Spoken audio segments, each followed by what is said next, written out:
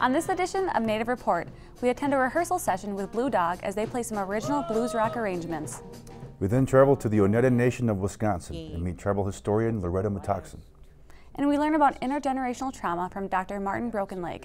We also learn about what we can do to lead healthier lives and hear from our elders on this Native Report. Production of Native Report is made possible by grants from the Shakopee Mdewakanton Sioux community, the Blandin Foundation, and the Duluth Superior Area Community Foundation.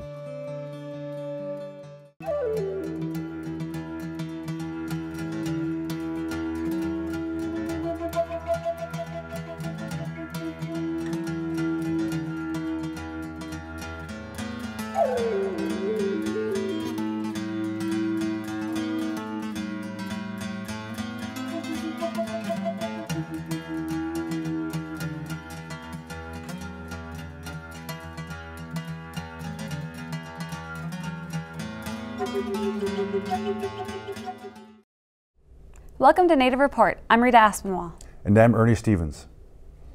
Blues rock band Blue Dog formed in 2001. Their sound is influenced by life experiences of Native people.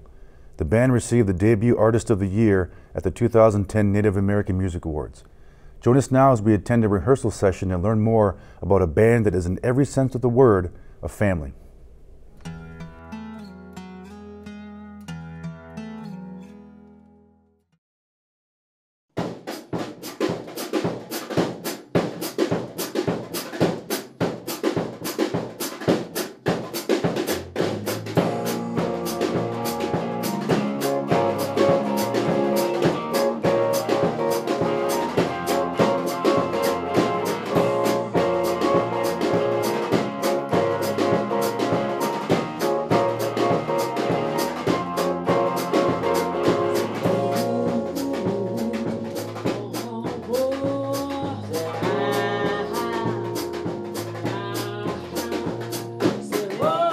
Dog formed in 2001 by Joni and Eric Buffalohead, and they released their first recording in 2005. Their music is influenced by the life experiences of Native people. We wanted something that would connect with the blues community and also connect with the Native community. So we thought, you know, I thought, oh, well, Black Dog, but there's already a band called that. And Red Dog, there's an energy drink or something. So we're just going through the colors. What's next? Blue, blues, dog, blue dog. That's kind of where it came out of, I think. Uh, you know, we, we kicked around some other names for ideas, and I think that's really where it kind of boiled down to is, hey, we want this name that'll, you know, connect with both of these communities. We want to connect with the blues community, but we don't want to give up what it is to be native either. We want to be known as a native blues band.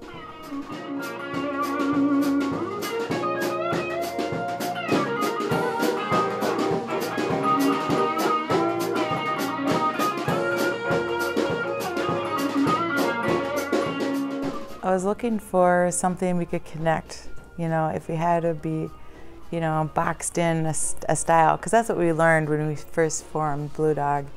Um, you know, what kind of music are you to find what match, you know, to match you and what venue you're going to play at.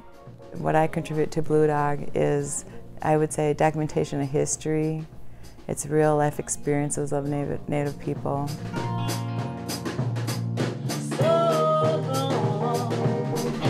I've been in the band since I was, I think, about 16 or 15 when we first started. I did um, piano lessons when I was maybe seven or eight and didn't really enjoy practicing classical music.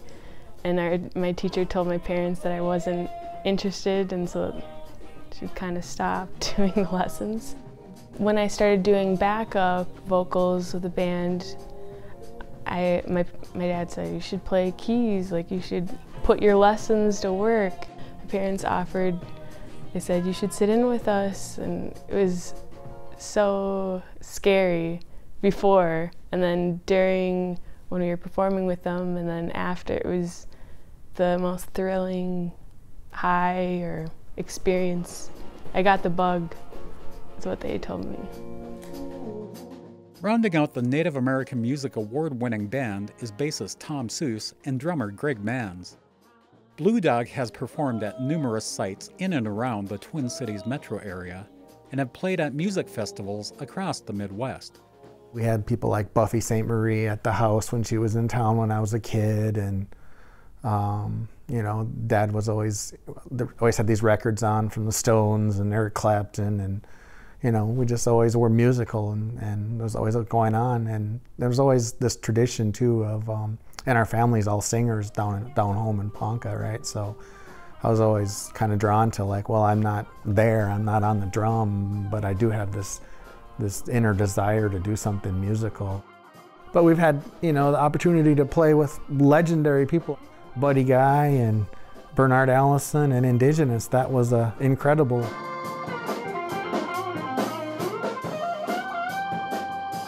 Bernard Allison, he comes from the blues, you know, um, royalty, I'll say, out of Chicago, and he heard our latest CD, and he made the comment of, you know, you and Mato, you know, from Indigenous, you, you guys got that sound. There's just a, there's a native sound to it. There's something there um, that's different. And I was like, wow, really? You notice, you know, it's different? Because um, I thought we kind of just blended it. we have really been blessed. We played this show, and the next day I was going to Mexico for the next six months to study, and I just thought, what if I'm never able to do this again? And then I think from then on, I just really appreciated that I'm able to share this with my parents and with our, our family.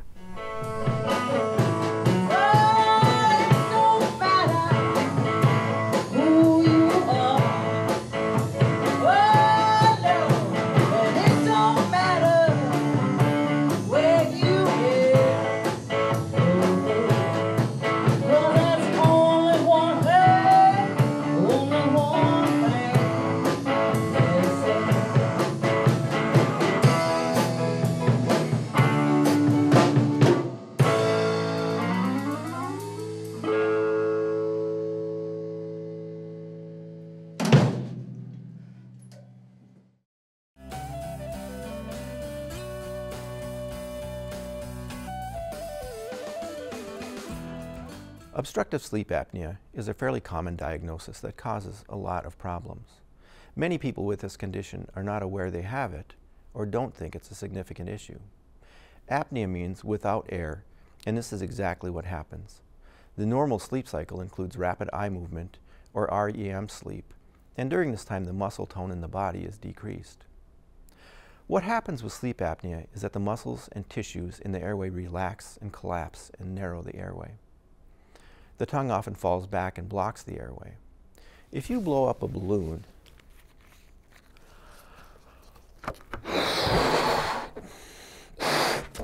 and let it go, it makes that flapping sound because the air pressure pushes the neck of the balloon open, then the elasticity of the rubber slams it shut, then the air pressure in the balloon forces the neck open, then the elasticity slams it shut, and so on. If you try to do that in the other direction by breathing in when you sleep, the same effect causes snoring as long as the airway is partially open. Eventually, those tissues relax until the negative pressure pulls the airway closed and there's nothing that will pull it open again. The negative pressure from trying to take that breath pulls the airway closed tighter and tighter. This is how an apnea episode begins, and they typically last from 20 to 40 seconds before the sleeper awakens with a gasp and reopens their airway. Except they don't really wake up and are usually never aware this just happened. They go back to sleep and the cycle begins again. Most people I see with sleep apnea have partners who send them in or who come in with them to visits to make sure this is addressed. Obstructive sleep apnea increases the risks for heart attacks, strokes, depression, obesity, high blood pressure, and other things that are generally not good.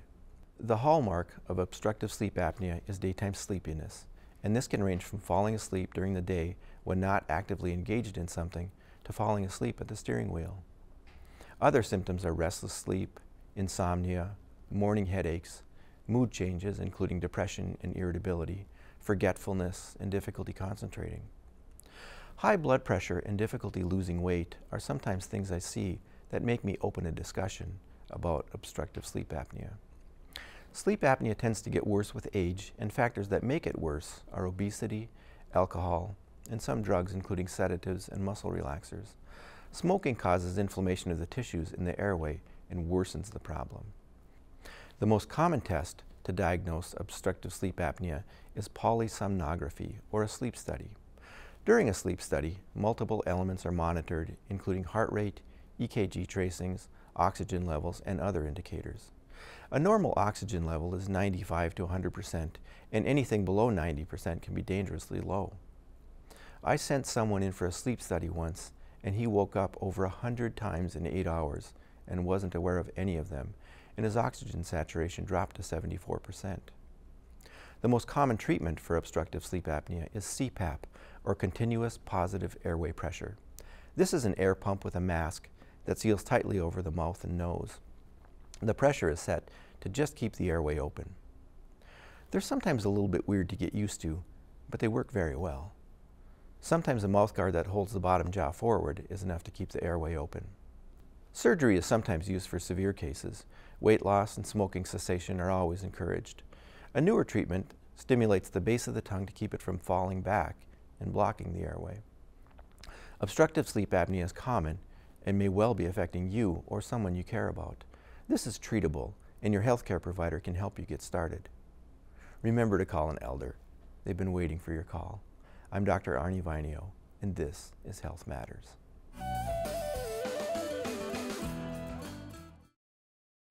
Loretta Metoxen is a respected elder and a tribal historian for the Oneida Nation of Wisconsin. She was born and raised on the Oneida Reservation and served in tribal leadership for nearly 30 years. A day doesn't go by without her learning something new about the Oneida Nation.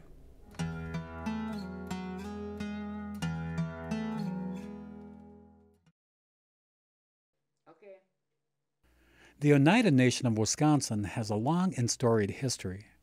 Loretta Metoxen, the keeper of that knowledge, looks after the nation's history with a passion. Tribal historian is very exciting. I use what knowledge I have gained over the last uh, 60, 70 years uh, to enrich other people by teaching, researching, writing, um, spreading any kind of information that I might have about laws that affect tribes, uh, especially this tribe. I study every day and I learn something new every day. It's a miracle that we are here, that we are here at all because we survived the Revolutionary War, where many of our men were killed. Uh, the women also fought in the Revolutionary War. And after the war, uh, quickly on the heels of the war, came the Indian Removal Act. And uh, President Jackson was bound that all the tribes east of the Mississippi were going west, and we were one of them. So history all of that detail of daily living for our ancestors is is really um, really exciting. It's more exciting than anything you can get on TV, as far as I'm concerned. Born and raised on the Oneida Reservation, Loretta served in the U.S. Air Force during the Korean War. I'm uh, an Oneida woman who was raised on a farm here on the reservation. And I volunteered for the United States Air Force when I was 18 years old. The United States Air Force uh, saw fit to put me in uh, uh, airborne radar school, airborne radar technician school. After a year, when I got my orders, it said Buzzards Bay, Massachusetts, and I thought, oh my gosh, where is Buzzards Bay, Massachusetts?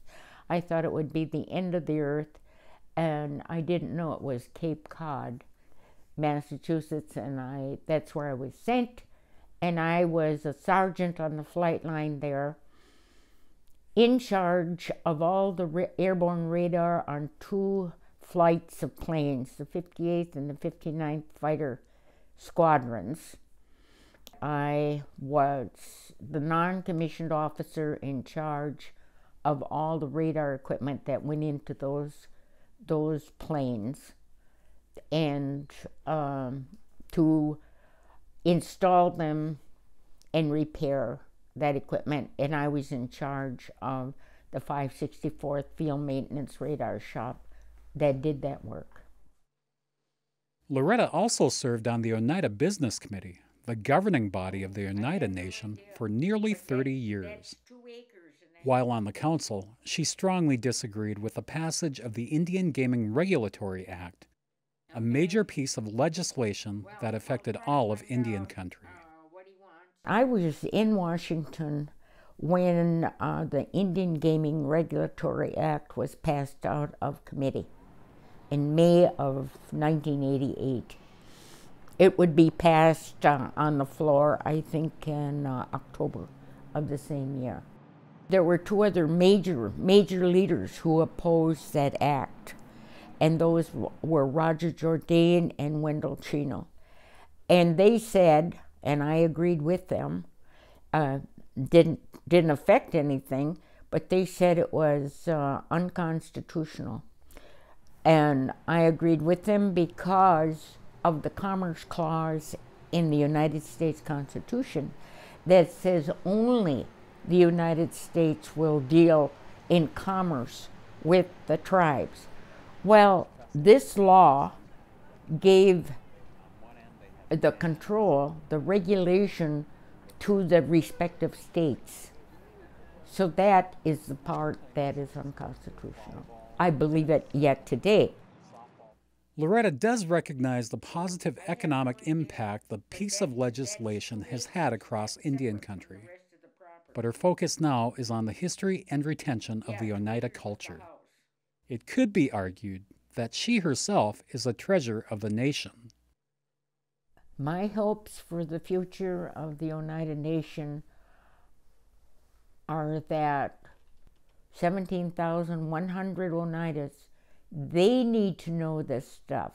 They need to know where they came from. They need to know the hardships that their grandparents survived through, and, and that's why they're still here. That's what they need to know so that they can uh, help one another, uh, contribute to the nation, uh, they they need to know that uh, because each one who contributes will make will make the nation stronger to that extent. So that's what I think needs to happen. It can't happen fast enough. I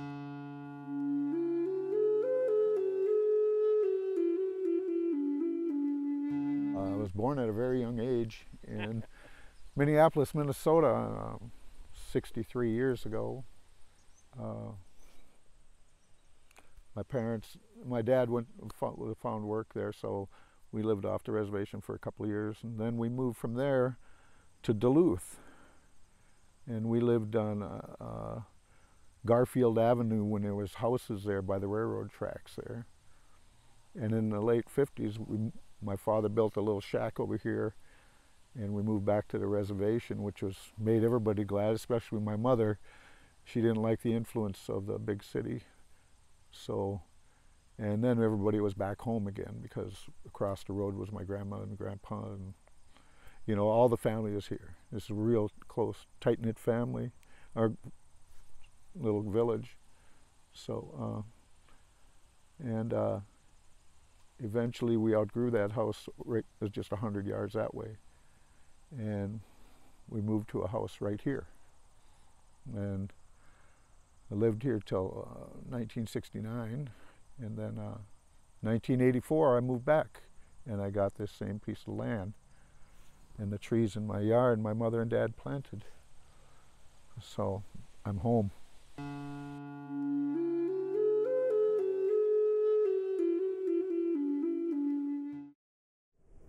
Dr. Martin Brokenleg grew up on the Rosebud Reservation and went on to become a psychologist, therapist, and author who has trained people around the world to more effectively work with at risk youth. He has a vision for how Indigenous communities and families can raise successful, resilient children in the face of intergenerational trauma. Dr. Brokenleg sat down with Christina Woods for an in depth conversation about his work.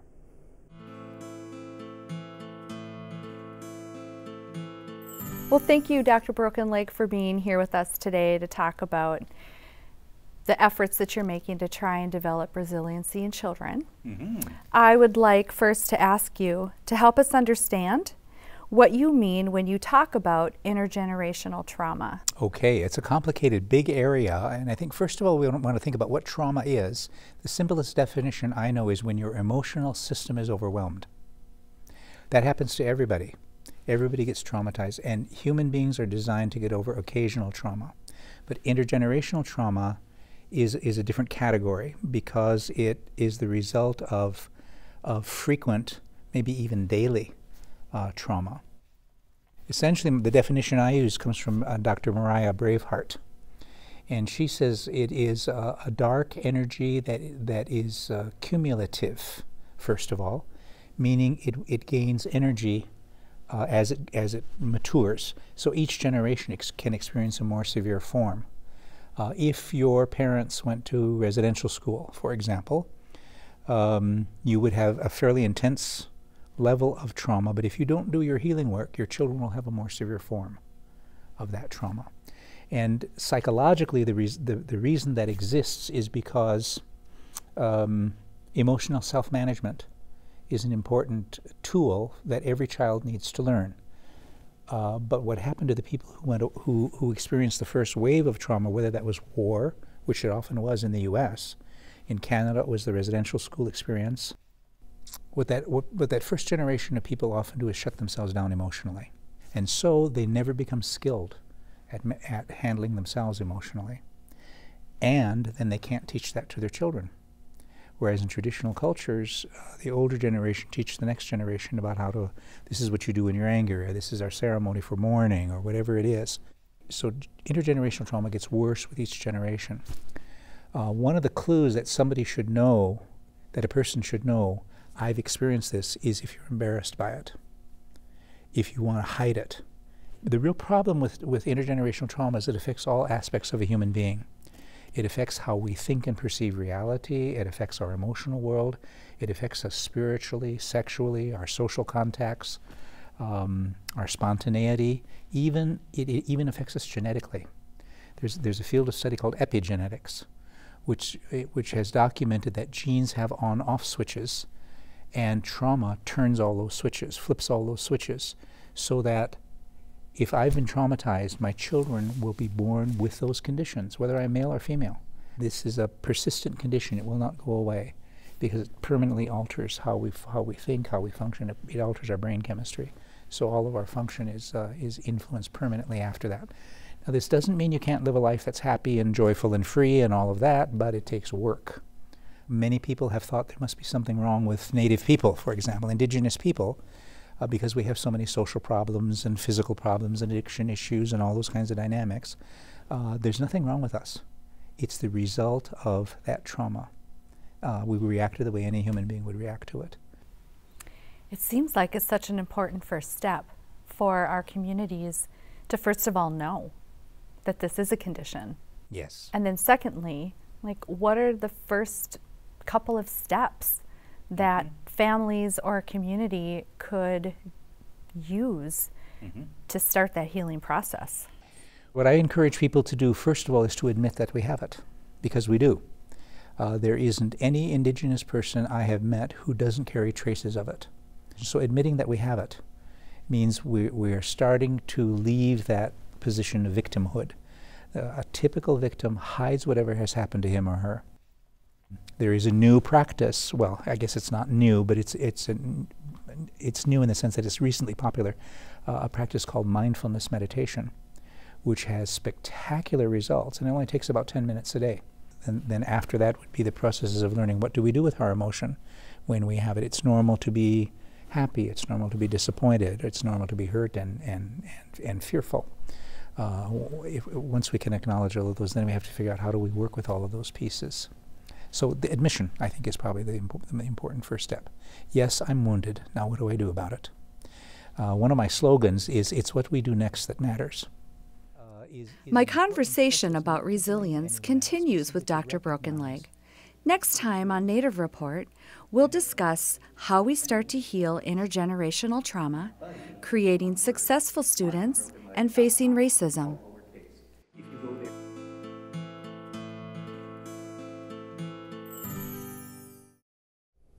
For more information about Native Report or the stories we've covered, look for us on the web at nativereport.org, on Facebook, and on YouTube. Thank you for spending this time with your friends and neighbors in Indian Country. I'm Ernie Stevens. And I'm Rita Aspinwall. We'll see you next time on Native Report. Rita Aspinwall is an enrolled member of the Fond du Lac Band of Lake Superior, Chippewa, and is an ICWA social worker with Fond du Lac Social Services. Ernie Stevens is a member of the Oneida Nation of Wisconsin and is a film and television producer.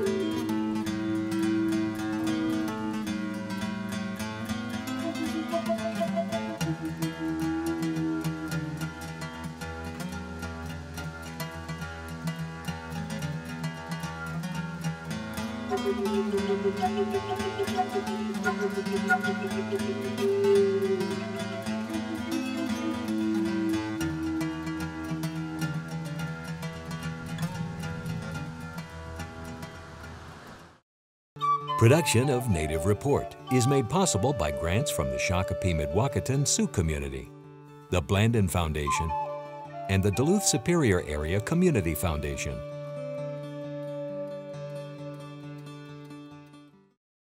Partial funding for this episode of Native Report is provided by the citizens of Minnesota through the Minnesota Arts and Cultural Heritage Fund.